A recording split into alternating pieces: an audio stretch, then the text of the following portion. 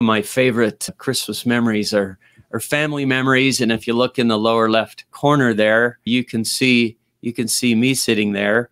Uh, with I'm the fifth of six children. You can see the stockings hung by the chimney with care. My mom and dad did such a great job of making Christmas such a magical time. Just recently in church, we were all looking at the uh, Family Search app, and uh, it was fun to see picture of my mom and dad there. I'd like you to look at the date of my mom there, similar to Hank. Um, he lost his father in 2021. I lost my mother in 2020. And my mom was one of the most saintly people I have ever known, super talented and just a delightful person. It was December 19th.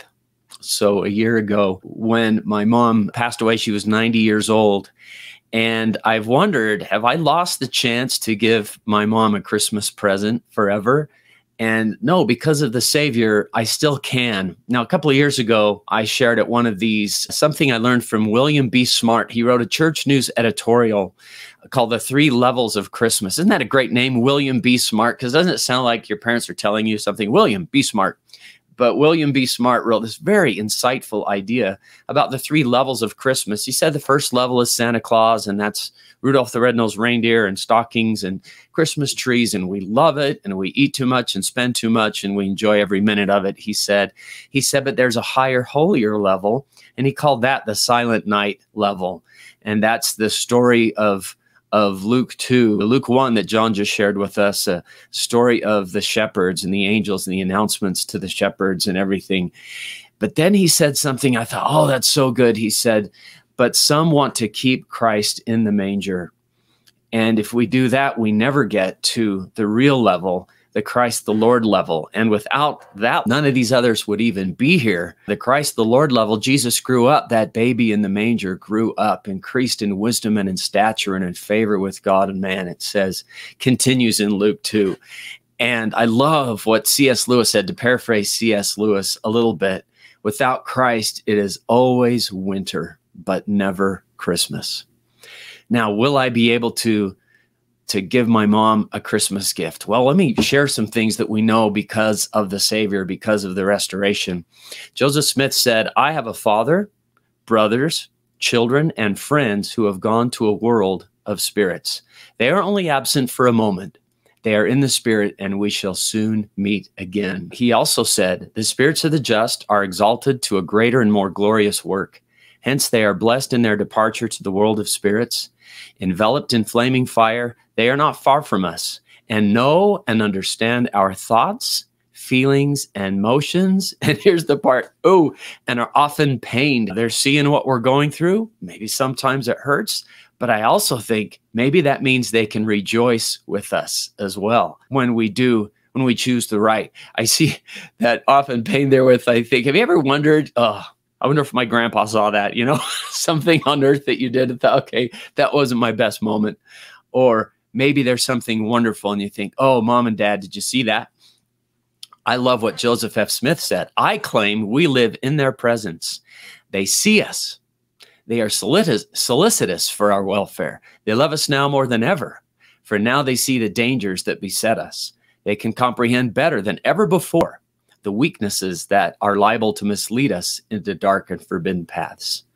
So, you know, maybe my mom and dad know more of my faults now.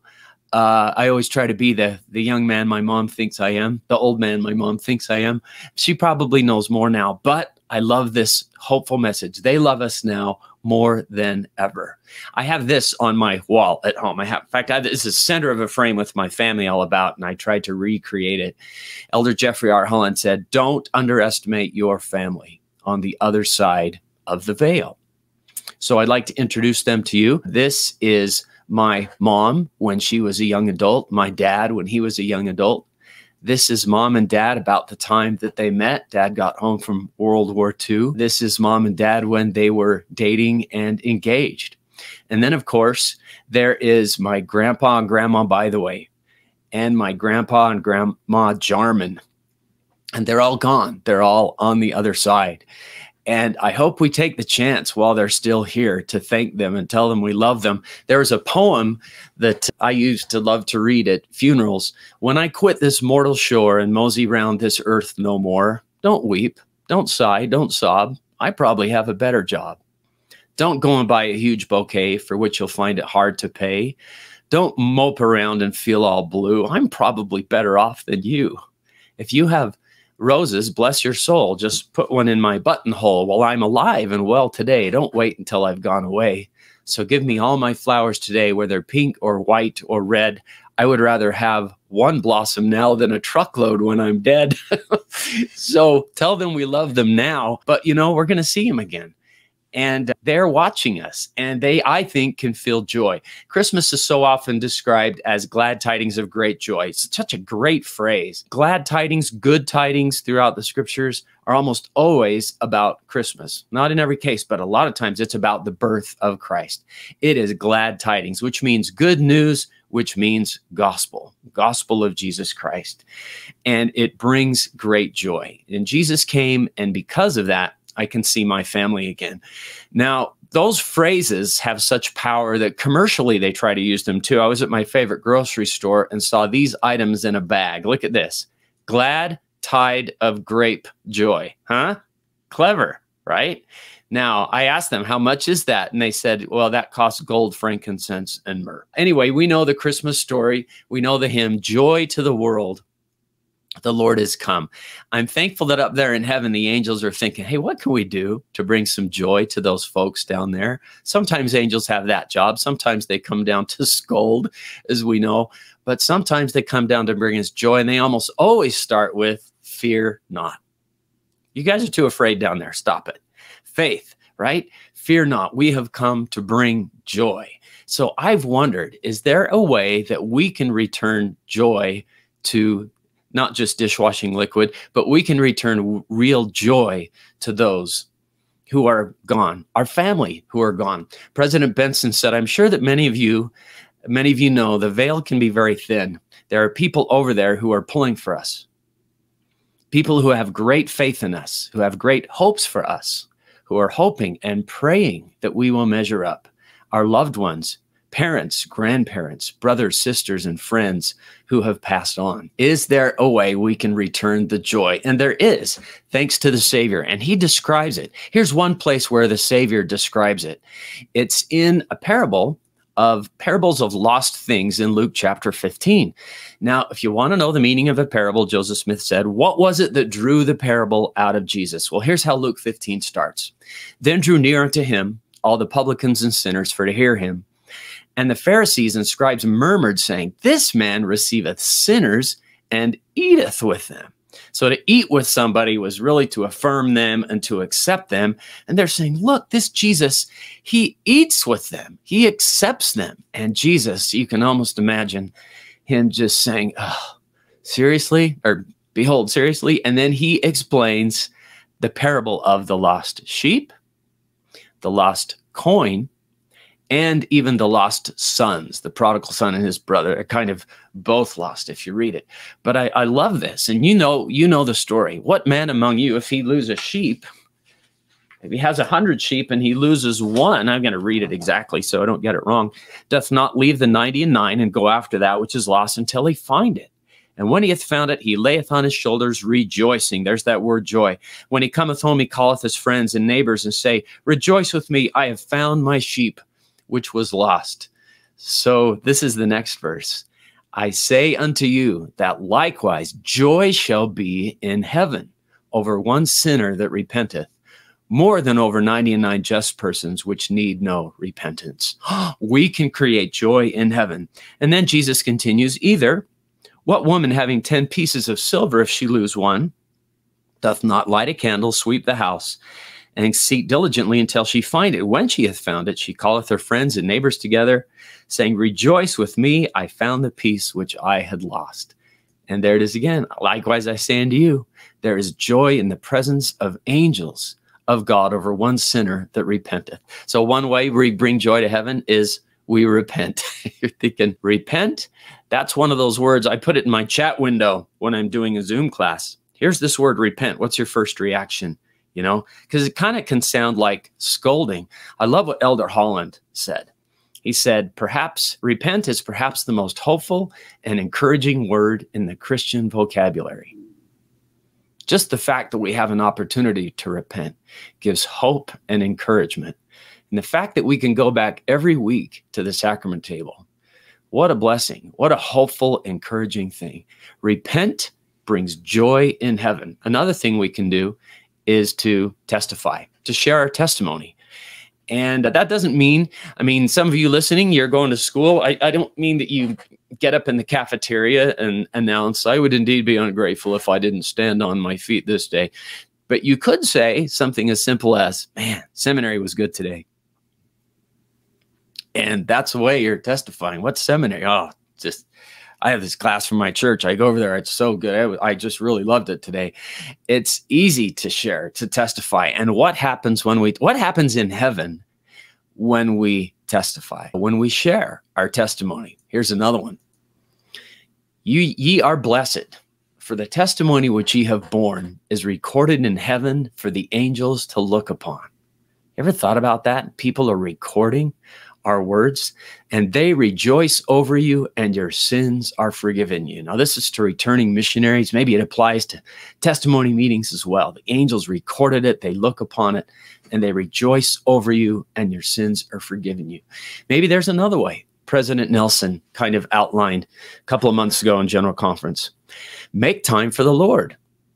If most of the information you get comes from social or other media, your ability to hear the whisperings of the Spirit will be diminished. My brothers and sisters, I plead with you, President Nelson said, to make time for the Lord. Notice this verse in the Doctrine and Covenants about bringing joy in heaven. This is to Warren Cowdery. Again, verily I say unto you, there was joy in heaven when my servant Warren bowed to my scepter and separated himself from the crafts of men. In other words, he made more time for the Lord. So you can put your own name name in there. When my servant John, that's my name, bowed to my scepter, separated himself, herself, when you put your name in there, from the crafts of men and making more time for the Lord. Again, President Nelson, my dear extraordinary youth, you were sent to earth this precious time, this most crucial time in the history of the world to help gather Israel. There's nothing happening on earth that now that is more important than that there's nothing of greater consequence. Absolutely nothing. And I know you might be thinking, I, I, I don't even know what uh, gather Israel. I'm not even sure what that means. I, I'm just a kid. Well, President Nelson continued, Any anytime you do anything that helps anyone, notice this on either side of the veil, take a step toward making covenants with God, receiving their essential baptismal and temple ordinances, you are helping to gather Israel. So can teenagers do this? One day I was home and my son had just got home from school and suddenly he ran out the front door with a suit on. I'm like, where are you going? And this a wonderful mom in a minivan pulled up and there were a bunch of other boys all dressed up in the van and they took off. And then she texted me this picture. So what did they all do? Oh, they had an appointment and they ran down to the temple and decided to help gather Israel on the other side of the veil. And this sister that texted me, she said, watching these boys baptize each other was so inspiring. I thought, yeah, it's so great. And then, of course, they got done and came out and got another picture and went and had pizza. Um, there's a lot of things you could do on a Friday night, but this this one's pretty cool. So Horace Cummings recorded in his journal that Joseph Smith said concerning the work for the dead. Joseph said, in the resurrection, those who, who had been worked for would fall at the feet of those who had done their work, kiss their feet, embrace their knees, and manifest the most exquisite gratitude. The prophet added, We do not comprehend what a blessing to them these ordinances are. So I think I've seen people and so have you that spend every day in the temple. Some of these wonderful folks that uh, retired now, whatever, and they work so hard. And imagine the joy they're creating on the other side, the welcome they're going to get. They're going to be gang tackled, but it won't hurt because you're resurrected. It sounds like. So what? What an amazing thing to look forward to. Anytime you do anything that helps anyone on the other on either side of the veil, That's where temple work comes in. Take a step toward making covenants. Doesn't mean get all the way there, but even take a small step. You're helping to gather Israel and you're creating joy in heaven. Well, my mom and dad are not here on earth anymore, but they have not been taken off my Christmas list.